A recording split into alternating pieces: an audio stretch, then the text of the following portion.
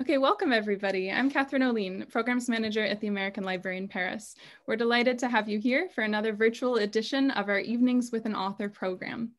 For those of you who are just discovering the American Library, we're an independent nonprofit institution in the heart of Paris, and we are proud to be not only the, the largest lending library on the European continent, but also a vibrant cultural center and event space. So for the time being, we have moved to Zoom. Thank you for making that leap and transition with us throughout this past year. It's lovely to see your continued engagement with our programs, even online. Um, 2020 wasn't all bad for us, actually. We were able to celebrate our centennial. So we turned 100 last year. We had mm. a centennial gala celebration in October, and many of you may have been there, actually. It was a wonderful celebration. And we're looking for, forward to a brighter year ahead in 2021 as well. You can learn more about us on our homepage, as well as uh, the various social media channels. We're on Facebook, uh, Instagram, Twitter, and we do have a YouTube channel that has all of our recent Evenings with an Author programs. So I'll introduce tonight's speaker then. Professor Lord Layard is a labor economist who has worked for most of his life on how to reduce unemployment and inequality. He is also one of the first economists to work on happiness, and his main current interest is how better mental health could improve our social and economic life. He is founder director of LSE's Center for Economic Performance and is the co-director of the center's program on community well-being. In 2005, he wrote Happiness, Lessons from a New Science, which was published in 20 languages. He continues to find significant effects of relative income on happiness and to emphasize the importance of non-income variables on aggregate happiness. In 2018, he co-authored a book called The Origins of Happiness, The Science of Well-Being Over the Life Course. And his latest book, about which we'll be, speak we'll be having a conversation this evening, is Can We Be Happier?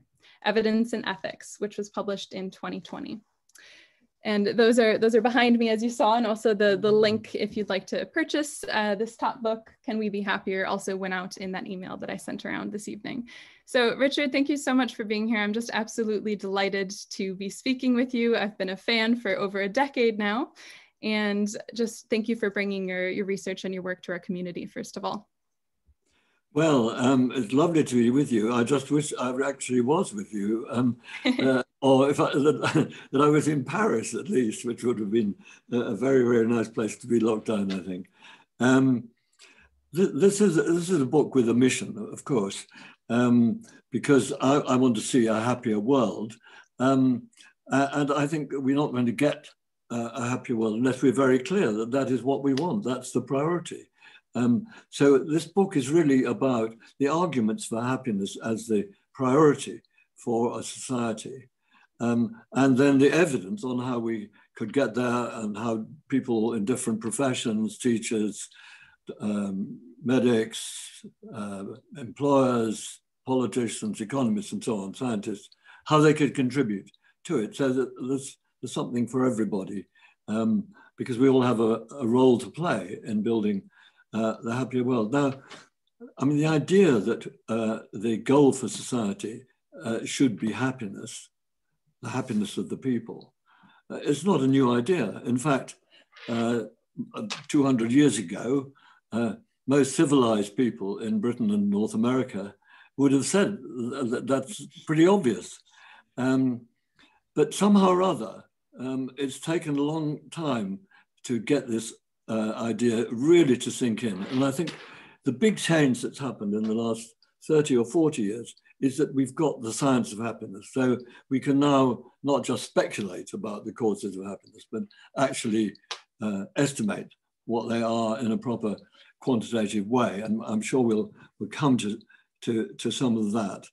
Um, but what, what, what I really want to see happening is that policymakers, uh, which doesn't just mean people in government and local government, but people who run um, NGOs, uh, people and people who run businesses and so on, that they should be focusing um, on the impact of their decisions on happiness, happiness of all the people uh, that could be potentially affected by, the, by their decisions, um, and that they should be obviously thinking of that when we're talking about, say, a, a budget holder, uh, thinking about that um, relative to the cost of each different way of improving people's happiness.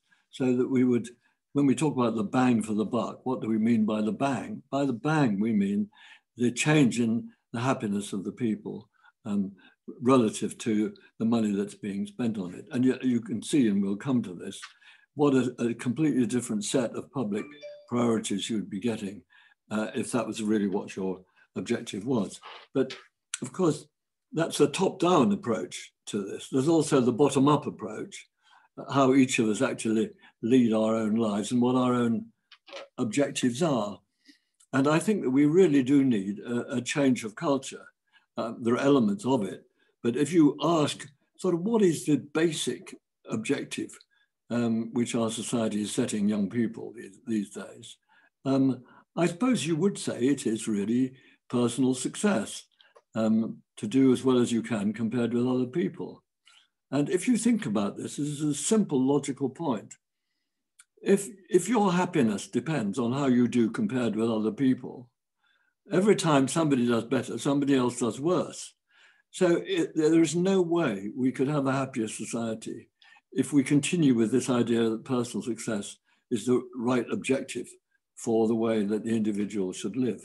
We have to get away from what, what, what we would call in the jargon a zero sum objective to a positive sum objective, where we're getting more of our happiness from creating happiness for other people. So um, quite a bit of the book is about, you know, how can we rethink of uh, think about ourselves as creators of happiness and people who of course experience it themselves, but mainly experience it themselves because of creating it for other people as well. So it's, it's a book about um, change of culture, uh, some of which is already happening, but uh, COVID is a great opportunity uh, to rethink it all. Um, and, and then it's a book about evidence in support of the change of culture. Yeah, thank you for for doing such a wonderful job laying out kind of the ideas behind the book, the impetus, and sort of what the problem is as well. It's important to diagnose the problem that we're trying to fix, I mm-hmm. think. So thank you for that. Um, I also wanted to ask right away if you would get into definitions a little bit. I think a lot of us have a hard time um, thinking of defining these kind of slippery concepts like happiness and well-being, but you do such a good job of that. And I wondered um, if you could elaborate for our audience on how you've defined and or measured things like happiness not only in the, in the individual but also in society at large. Well uh, happiness is is is uh, an inner experience. It's how you feel. Um, and uh, i think that um, we should be very clear about that. We're talking about uh, how people feel about their lives. Um, do they feel good and want to go on feeling like that? Or do they feel bad and wanting things to be very different? Um, so, of course, it's a scale. Um, it's, it's, like temperature. Um, it, it, it, has a big range. Uh, and we can, of course, then study what, what is causing this enormous range. Now, what is the question that one should use? The question which is most often used uh, is uh, overall, how satisfied are you with your life these days? And this is a, question which I think is, is, is, is put right because it's letting the person judge for themselves what is important to them. We're not saying, do you have what you need? And I'll tell you what you need is this, that, and the other. We're saying, given the person you are and what you feel you need, how are you doing uh, relative to it? So it's democratic in that sense. Um, and I think it's also one that policymakers are, are, quite willing to accept because they're used to asking people, you know, are you satisfied with your fire service or your school?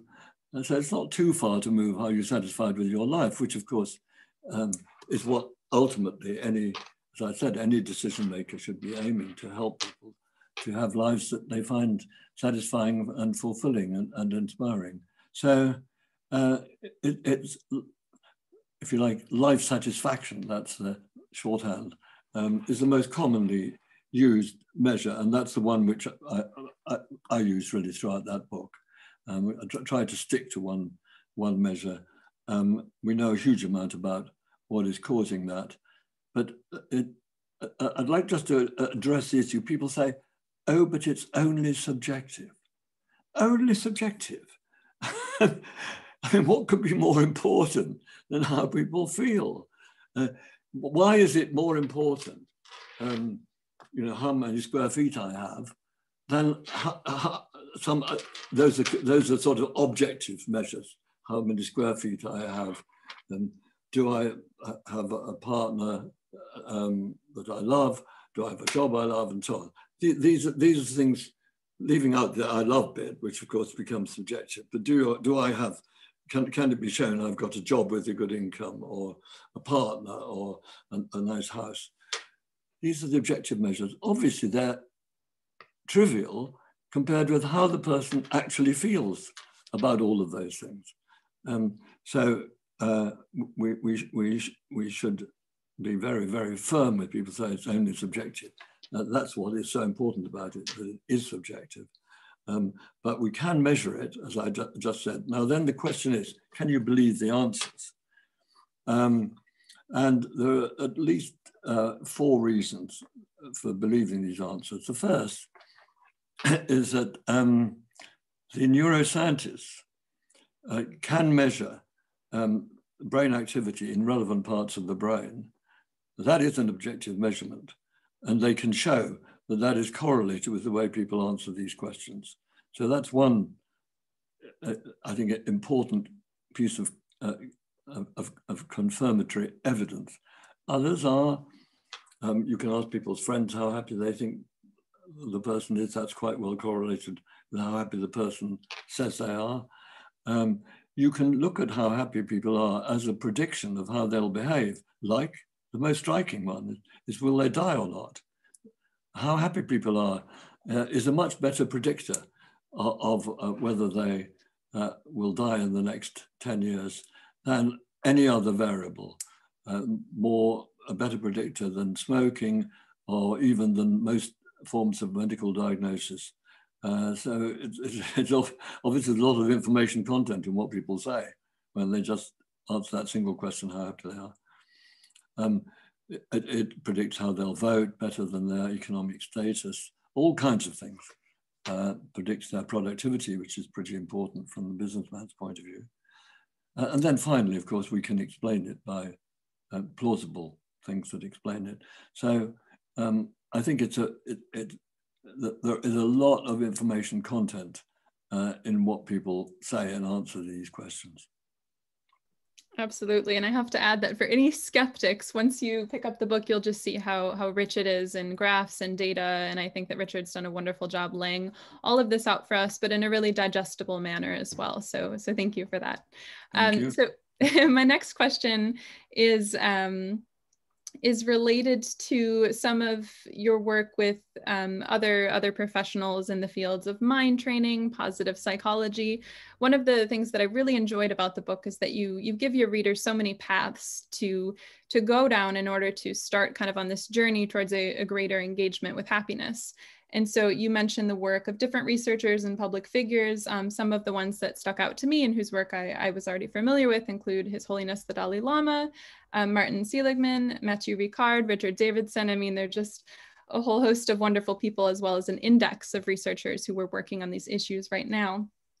Um, so I, I wondered if I could ask you what it was like to to work with some of these um, individuals in, in various fields and not just kind of in your own economic terrain.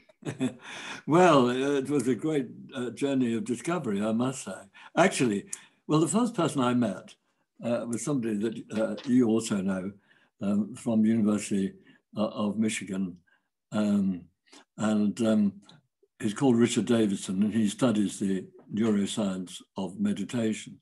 Uh, and I've I visited uh, his lab, and I was really impressed by by these findings of the correlation between what people say about their experience and the measurements that can actually be made uh, on the brain. The next thing that actually happened to me was that I got an email from Nepal, from a, a monk in Nepal, saying that, Richard Davidson had told him that there was this, this odd economist um, who was trying to learn about happiness.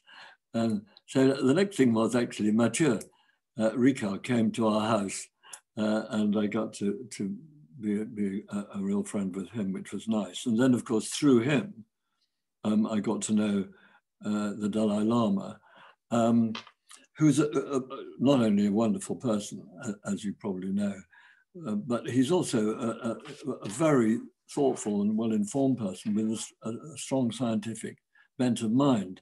So all of these people actually belong to a network called the Mind and Life Institute, um, which is, is a, a, a, um, a, collection of Western neuroscientists, uh, or mainly neuroscientists, um, with uh, Buddhist scholars from the East, including, of course, um, His Holiness. Um, so I've, I've been privileged to go to a number of those meetings and spoken at some of them. Uh, and it, it, was a wonderful experience. Um, so um, yeah, I, I, I, found myself sitting, sitting, sitting next to the Dalai Lama at lunch one day. so uh, asked him about his daily ritual. You know, he gets up at 3.30 in the morning, meditates for five hours, just just extraordinary. But uh, it, he, it is, is interesting. And what he has done, and of course what Mathieu Ricard has done, is you can see how they have, have transformed themselves into deeply compassionate people who, when they have any interaction with anybody, feel this tremendous, tremendous sense of fellow feeling with that person. Now, I wish I could say that I've managed to transform myself uh, uh, uh, as much as they have, but I think it's it's an extraordinarily important thing because uh, actually, um, apart from um, things which are coming from inside ourselves, perhaps the most important thing which is coming from outside ourselves um, is the, the goodwill or lack of it and the trustworthiness and, uh, and decency of the people that we interact with.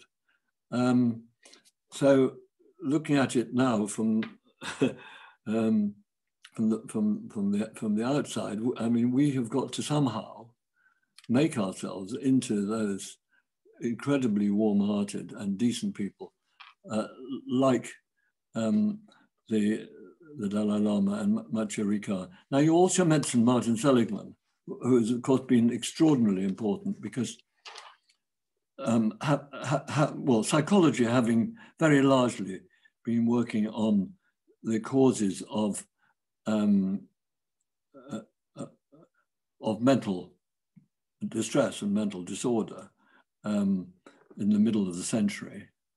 Um, Martin said, well, why, why can't we apply some of the same methods to studying um, the causes of, of, happiness above the average? Um, because surely we should be raising uh, everybody uh, if we can, uh, using in many cases the same sorts of things that have been discovered for raising people who are at the bottom end, um, the, the, the wisdom coming from cognitive uh, behavioral therapy, um, uh, that you, you can train your mind, not just through meditation, but also through habit formation and styles of thinking.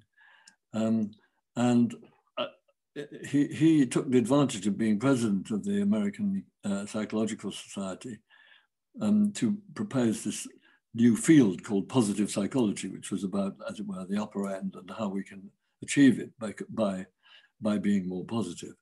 Um, and I think that this is, this is also a hugely important um, thing. So we've, we've really got the sort of confluence, haven't we, of the wisdom of the East and the psychology of the West um, offering a, a, a, sort of um, reasonably confident routes to, to anybody um, to achieve equanimity and, and calm and peace of mind.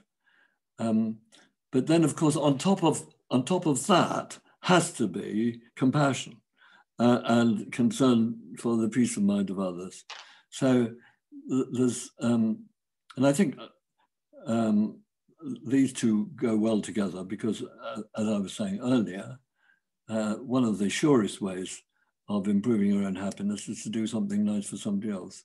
Um, so these are not in contrast, this, this attempt to achieve peace of mind for yourself uh, and to create joy and happiness for others.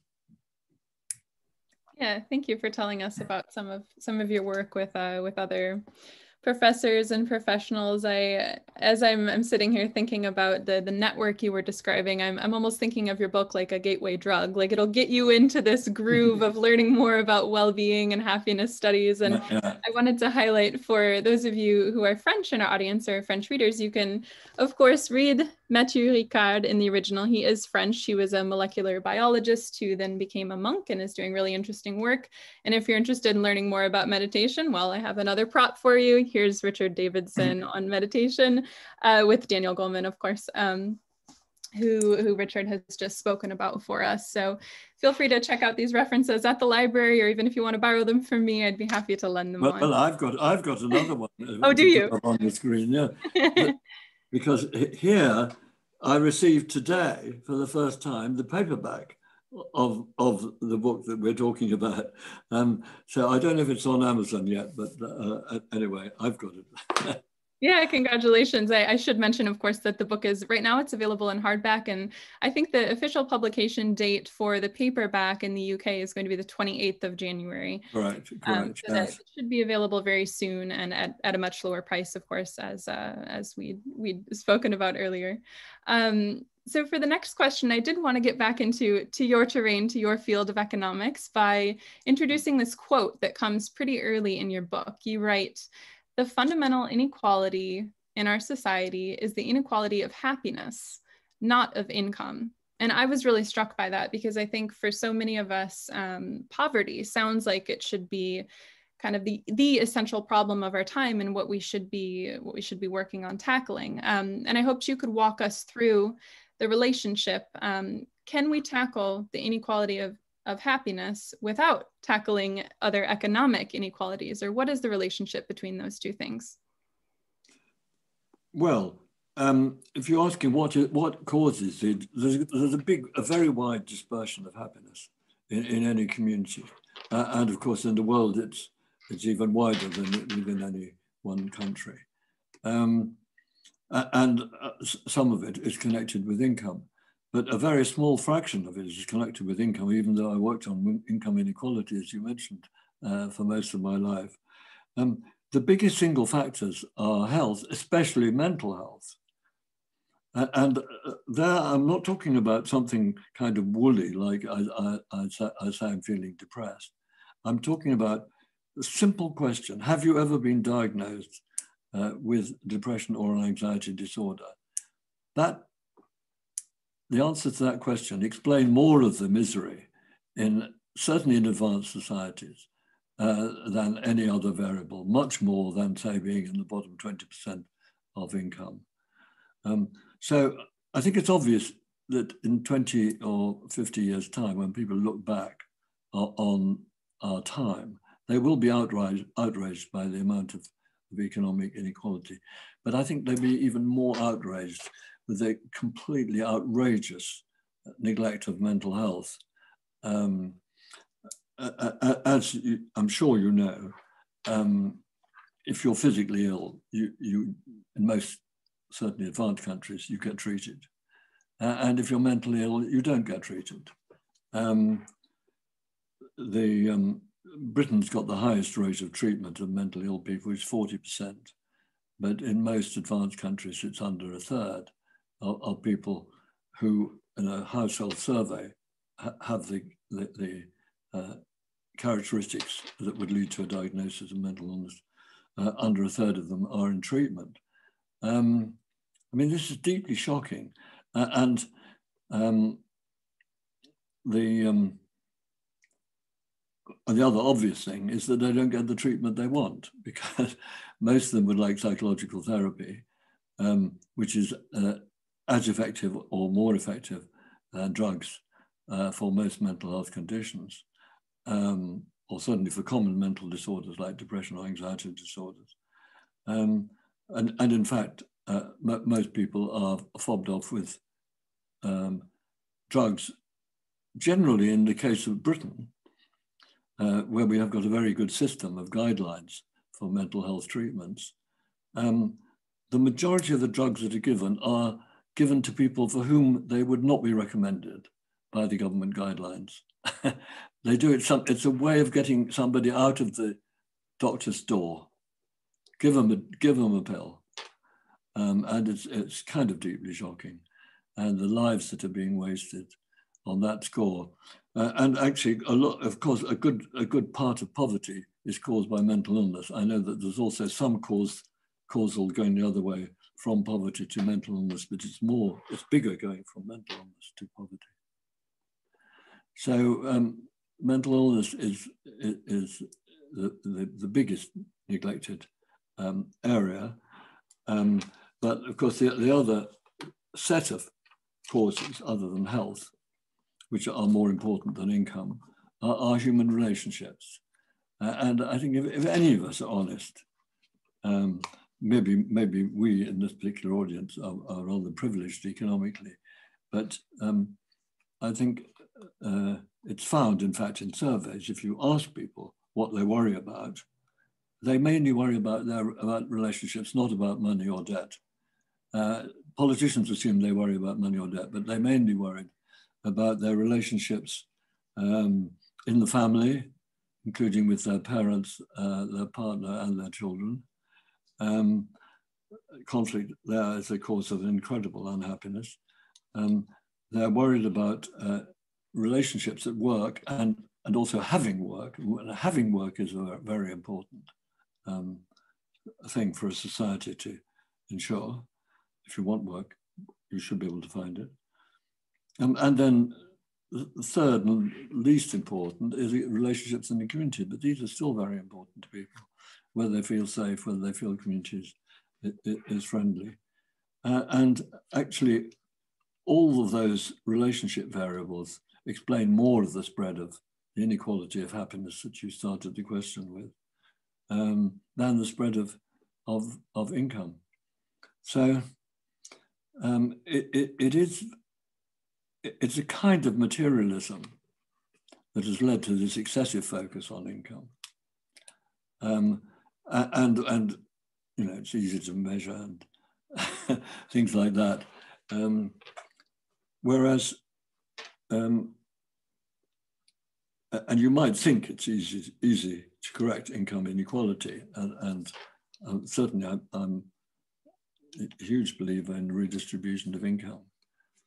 But we we now have, and this is I think the main point really that I want to make about about the state of this situation. We now have evidence about how to tackle all these other problems. We have evidence about how to tackle not just mental health problems that I mentioned before, but family conflict.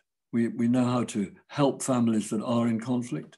We also need how to, we know how to um, prevent family conflict or make it much less likely through good uh, antenatal classes where the parent, both the parents are, are, there and are, are learning about the kinds of problems that arise once you have a child in the relationship between the two parents.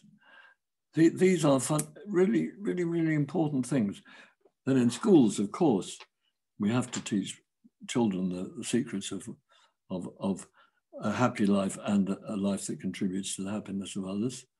Uh, and this can be done in a completely evidence way, evidence-based way. Uh, um, I've been involved with a program um, called Healthy Minds, but you need at least an hour a week devoted to the basic learning of these, these skills. Um, obviously, there's a lot that can be done at work. Um, a lot of work environments cause, cause mental illness and distress.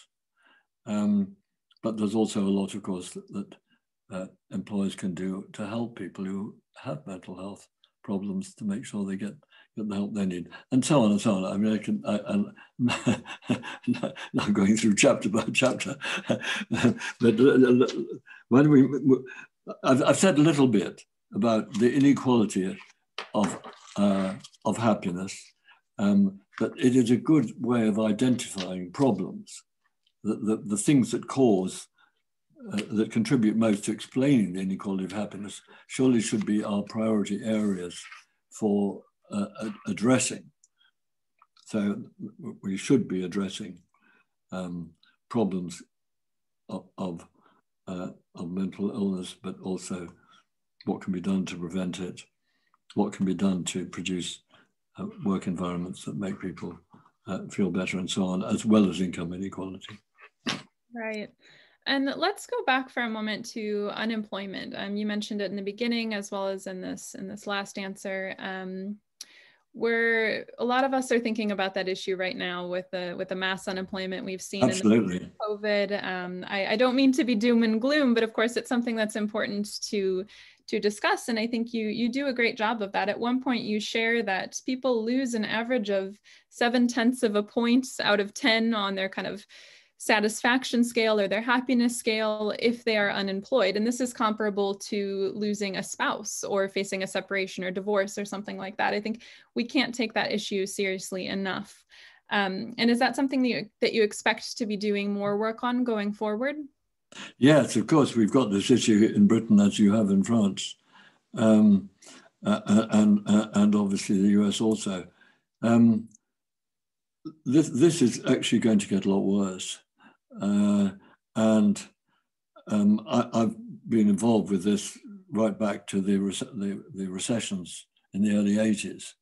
Uh, and I always felt that given how, the, how, humiliating it is to be, be unwanted and, and, and unable to find work, we, we ought not to allow anybody to remain in that condition more than a year. So back in the 80s, actually, I, I led a movement for a job guarantee uh, to anybody who's unemployed for over a year. Uh, and I still feel this is the correct way to do it. Um, and now, some people say, of course, you, you, would offer people jobs um, and, and not continue to offer them unemployment benefit. Um, some people say um, that's um, not good for their happiness. why not let them choose between unemployment benefit uh, and having the job?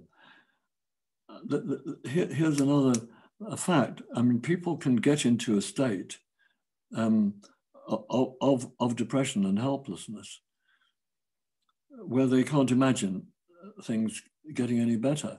Um, but what has been found in all these job schemes, um, and it's been found in Germany, it's been found in Britain, that uh, if you uh, offer a person um, uh, uh work at, at, the, at the minimum wage, uh, they uh, feel better, even if you have removed from them the, the alternative of, of, remaining on the dole.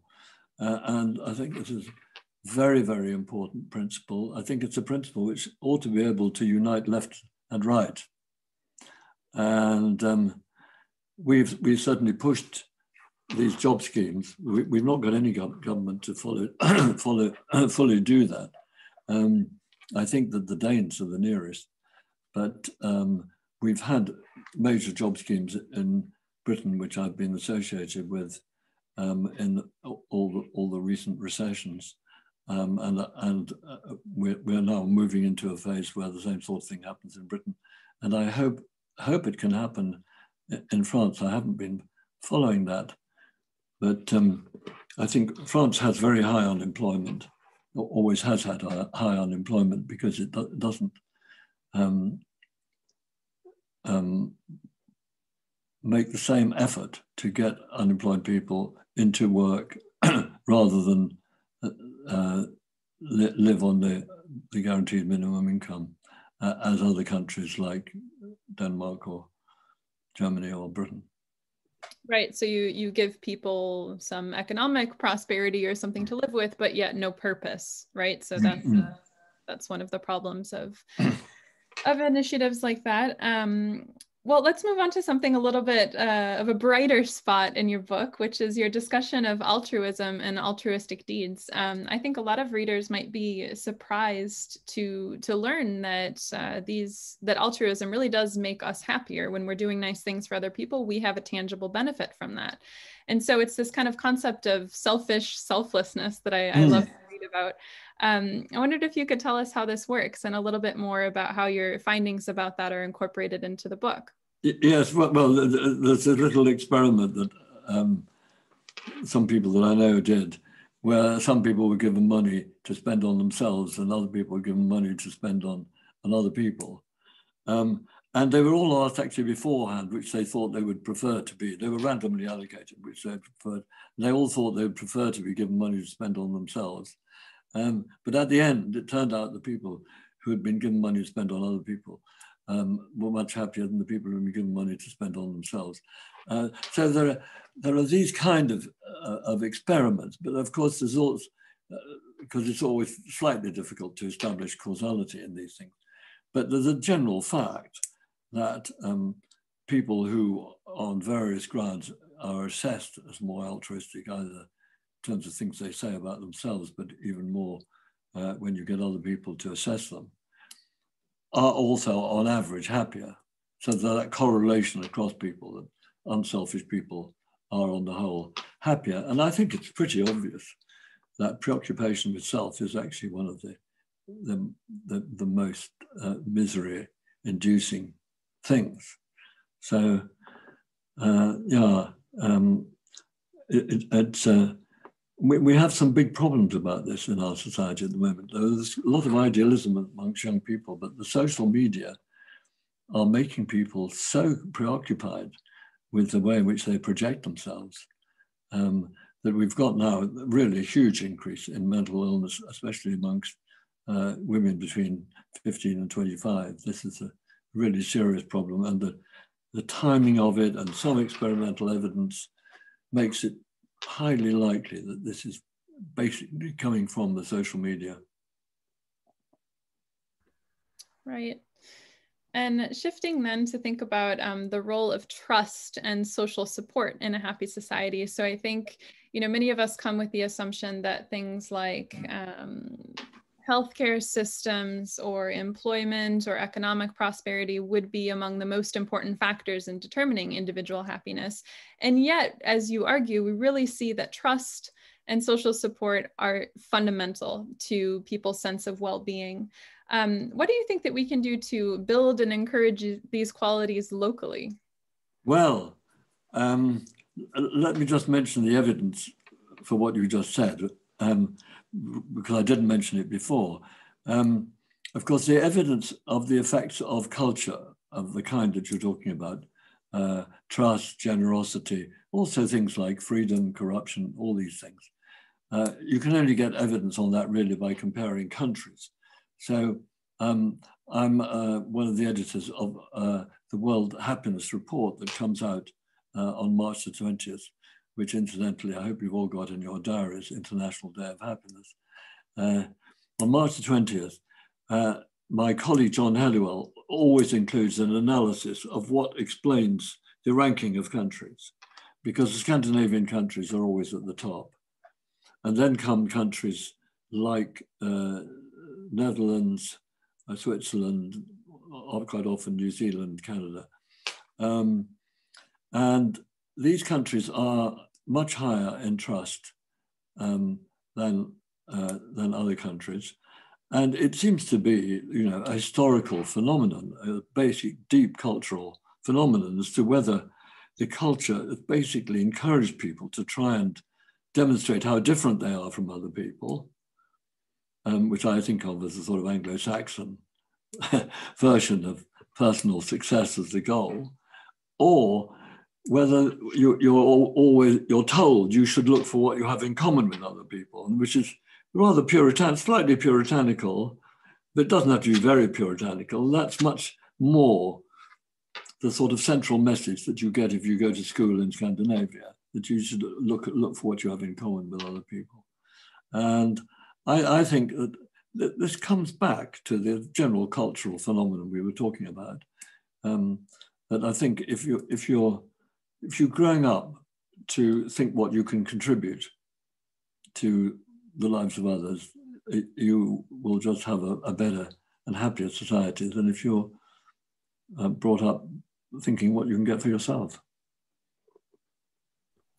And I think now might be a, a, good time also for if you'd like to do a plug for Action for Happiness at all. We I wanted to. I, I've been wanting to do that all the time. love to hear about it.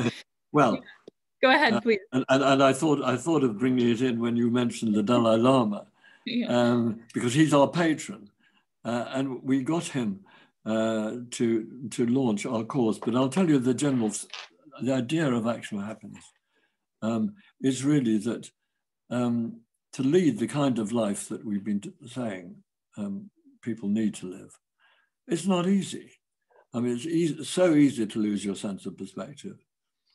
Um, and you need uh, really to get together regularly with people um, who have the same values as yourself, um, to be inspired and to be sustained uh, uh, and supported and, uh, and gen generally um, uplifted. Um, and I, I, I, thought that to an extent, uh, people used to get this um, from going to church, but not many Europeans go to church anymore. Um, it, it, certainly provided uh, uh, the kind of um, uplifting experience where there, I think there are two aspects to it. One is a feeling that you're you're not as important as you thought. and really, the, the, the great world, world out there. Um, uh, and it's not so desperate what happens to you, but also that, in, that in, in, at some level you feel supported and that in some sense all, all shall be well. Um, so, so we need um, and organizations uh, where people get together regularly with like-minded people around, around these issues to be inspired. Um, so the way Action for Happiness works is that these groups, um, we've got groups now all over the world, these groups start with a course, which used to be until COVID, face-to-face, and uh, eight-session course, um, going through what we call the 10 keys of happiness um, with evidence, but also with a huge amount of shared experience um, uh, uh, uh, and, uh, and so on. Um, we did a, a, a, randomized controlled trial of this, where some people uh, were, had to wait until they took the course. And so we compared the people who took the course with the people who didn't take the course. And the people who took the course got, you mentioned uh, uh, seven tenths of a point for unemployment. These people got a whole point increase in happiness uh, as a result of taking the course. And so incidentally, the people who had waited when they eventually took the course. So, I mean, this is extraordinary. Um, of course, these are people who, who are, are, seeking, that's why they, they come to this. Um, but it, it is really making a difference to them. And um, we, we are, are, really hoping that um, we'll be able to reach um, hundreds of thousands. Well, we, online, of course, we reach over a million people, all of that. But we want to want to reach, in a sense of when we can all get together physically, we want to reach hundreds of thousands of people getting together regularly in, in these groups um, worldwide.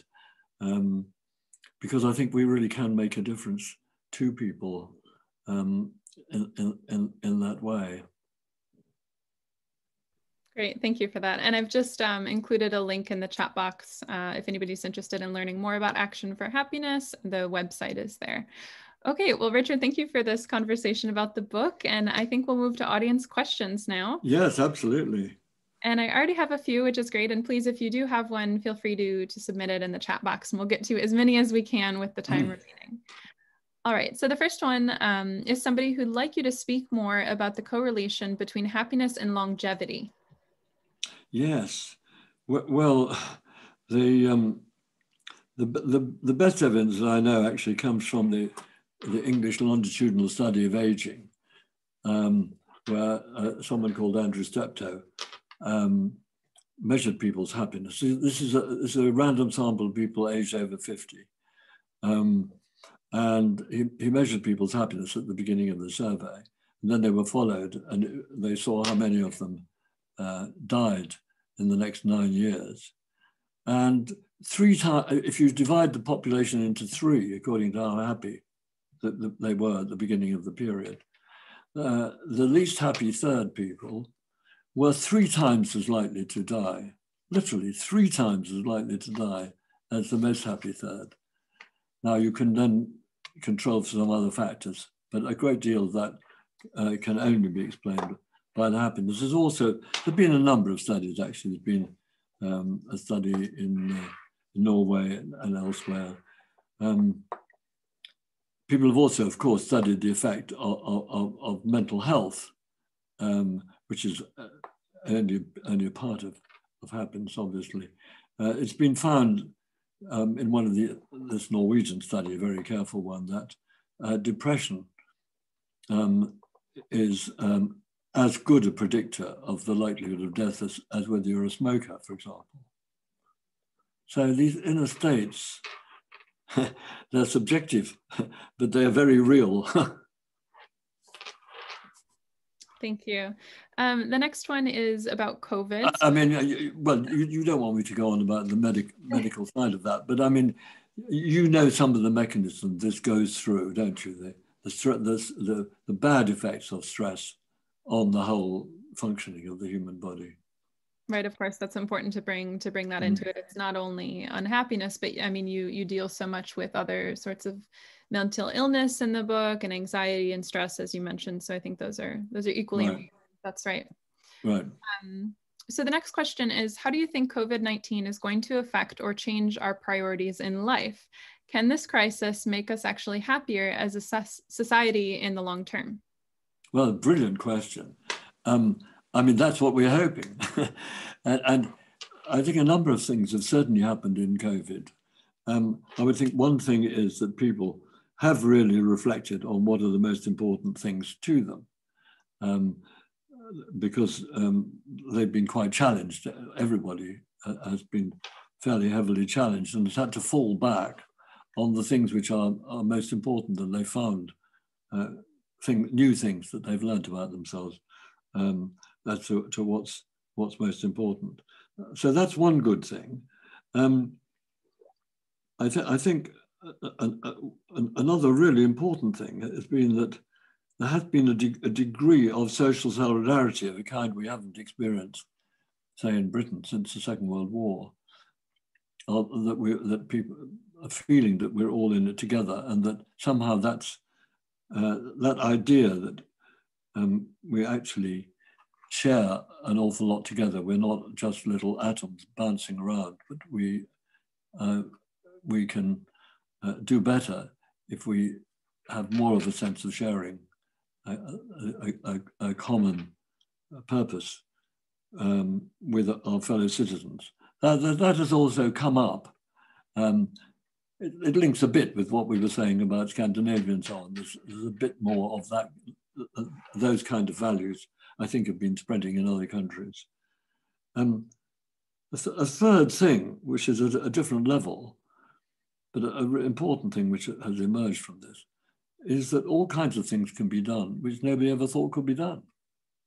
I mean, governments, governments can uh, spend money on things that they would never have ever considered spending money on before. And all kinds of things. Uh, I mean, firms or, or employers have had to reorganize their, their working arrangements in ways they would never have thought possible before and so on. So there's a, a whole sort of new world out there to an extent uh, um, able to be created. And I think we've got the right ideas and we can create it uh, if we can get these ideas accepted. Right. And I think that cooperation also has huge ramifications for how we're considering tackling the challenge of climate change. And of I know course. you're you're a proponent of clean energy, and that's a whole separate, you know, we could speak for another hour just about that. So we maybe could, we could indeed. We won't yeah. get into it, but but yeah, that's another um, positive thing we we could take from the current challenge, certainly. Um, so the next question is, uh, let me summarize this here. Have you studied what the effect would be of giving everyone a universal basic income? And I, I do know that you you do talk about that in the book, so I'll, I'll let you respond to I'm that. not enthusiastic about that. Um, I, am for two reasons. First, that uh, um, I mean, if you if you wanted to provide a decent guarantee for, for the poorest people that way, uh, the tax rate would have to be so exorbitant that it's just unimaginable. But I, I, also, I'm slightly doubtful about the ethical basis of it because I do think that the idea, um, I mean, income doesn't just happen. It does happen because people work. That, that, that's, income doesn't grow in trees. It does come from work. Um, and I think the idea that um, people should feel entitled to, to an income without working, even if they could work, doesn't seem to be right. It doesn't fit in with the general ethics that I've been talking about.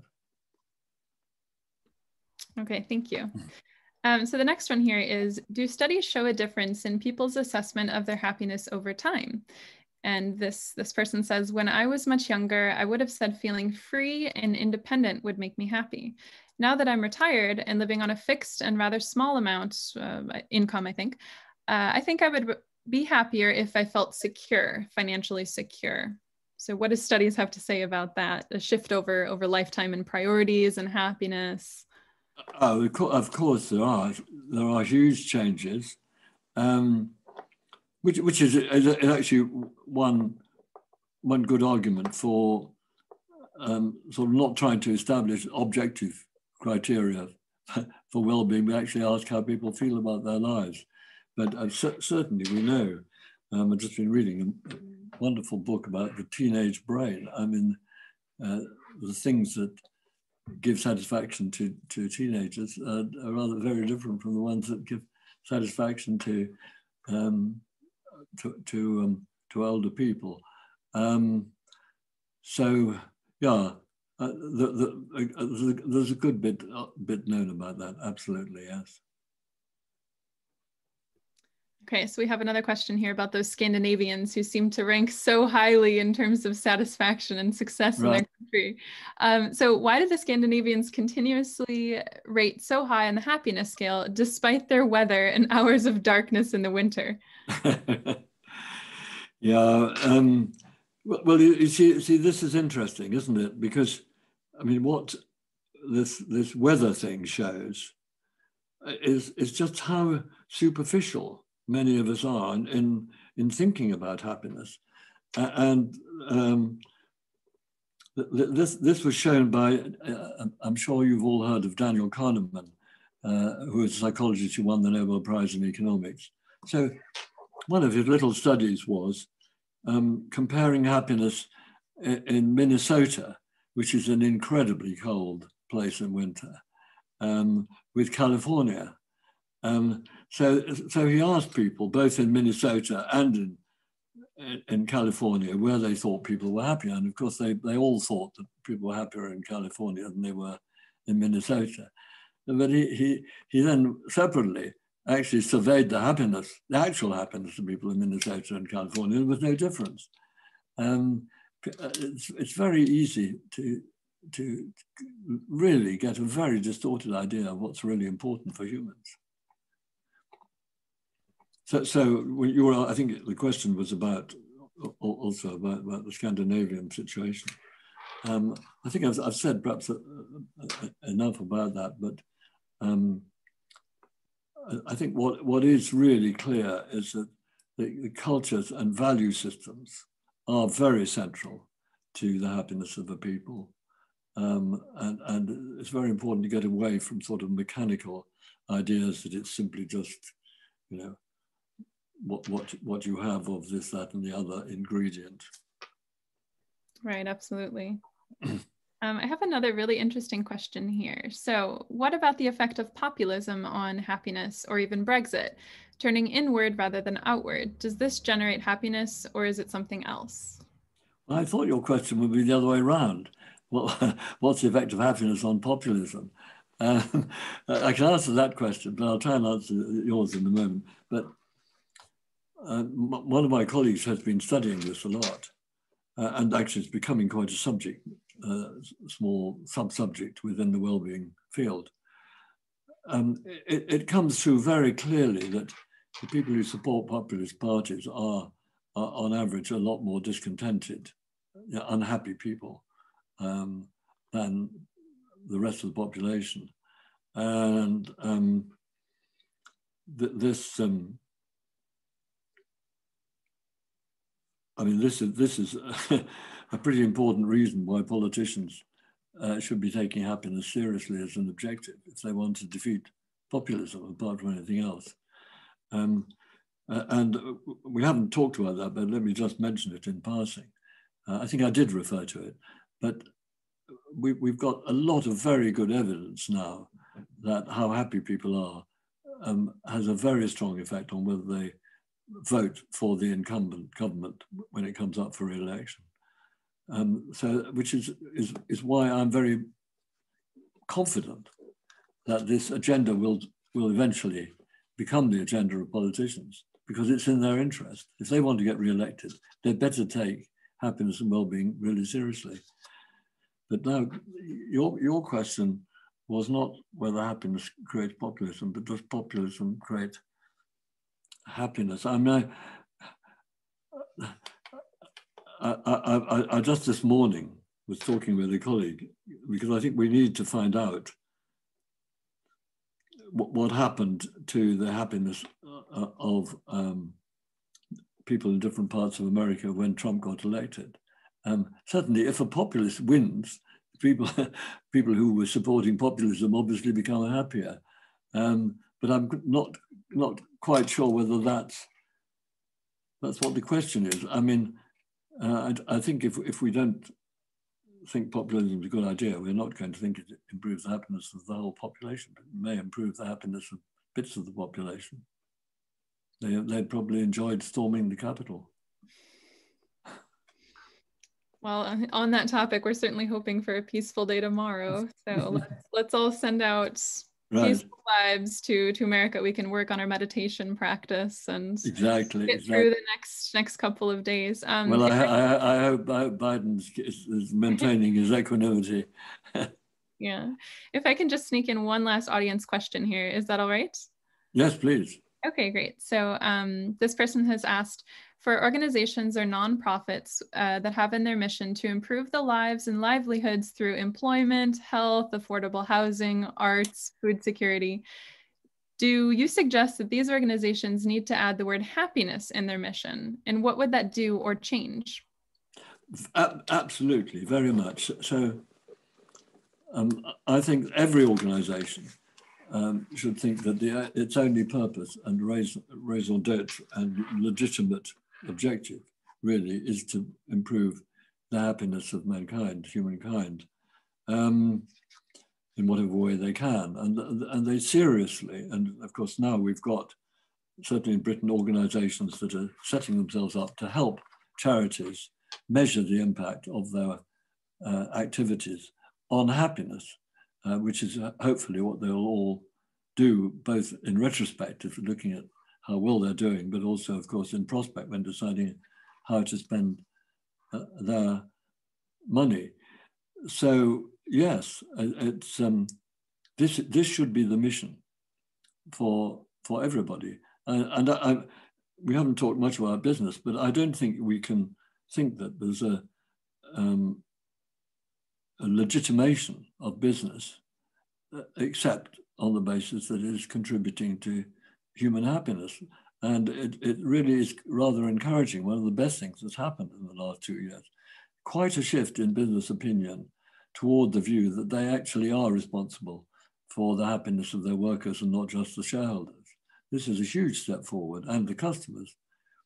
So if we could get this kind of, of idealistic view into every organization, every school, that's, schools are not just about getting people to pass exams, but to become emerge as rounded and happy humans. Um, businesses, in fact, we could get businesses uh, to think this way, and if we can get governments to think this way, um, I think we can have a happier world. Thank you. I think that's a that's a wonderful point to end on. So thank you so much, Professor Lord Layard, for being with us this evening and for sharing your your thoughts and insights with our community. This has been tremendously valuable, and it's really been an honor for me to speak with you. So thank you for that. Well, th thank you for your questions, Catherine, and thank you also to uh, your listeners for those those very interesting questions. And um, well, let, let's let's see let's see what we can do to make the place better. Fantastic. and I will also close out by saying, um, by reminding everybody rather that the American Library in Paris is a nonprofit organization. And typically in person for events, we welcome about 10 euros per person per event um, as far as a donation. So if you're interested in supporting the library, I do encourage you to uh, look back in that email that I sent around with the Zoom link and you'll find a link to donate and to support the library um, that you can use tonight if you'd like to do that. Um, yes, thank you again to our audience for your engagement and for your wonderful questions this evening. And thank you, of course, to our sponsor as well, Grow at Annenberg. And thank you again, Richard. And I hope everybody has a lovely evening. And we hope to see you again very soon at another program. Well, I want to come to come and see your library. you have a standing invitation here in Paris. We would love that. Thank you so much. Okay. Right. Bye bye, everyone. Goodbye.